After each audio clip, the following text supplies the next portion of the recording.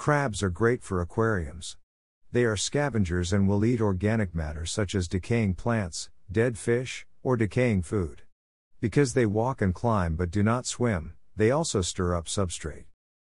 Like land dwelling plants, underwater plants also need their soil or gravel cultivated.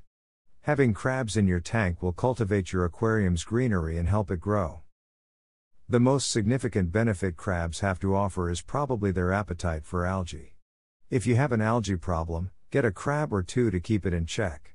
These critters, as well as snails, make meals out of the stuff. Keep in mind nothing is a substitution for maintaining the aquarium yourself. Another benefit of freshwater crabs is the fun behavior they display.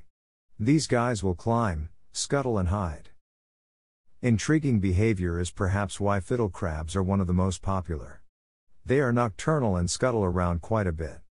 The males are interesting in appearance because they have one small claw and the other one is supersized.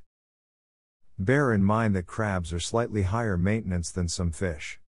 Their water has to be kept at 70 to 82 degrees Fahrenheit.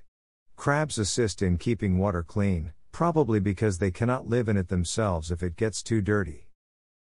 Make sure your crabs are living in clean water and test it often. Not all crabs can live in water forever. Most need to visit dry land.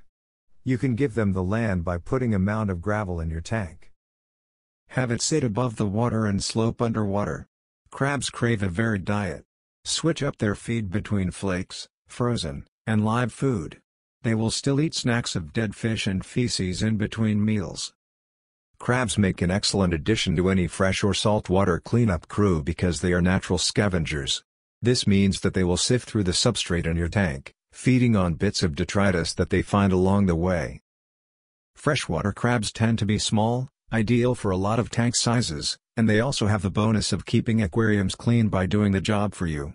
It's like having little maintenance workers around when you're not. Lastly, think of the fish already in your tank.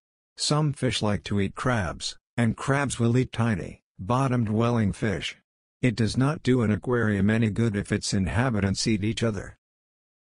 If you made it till the end of the video please don't forget to give it a thumbs up, if this information was helpful. Like, comment and subscribe.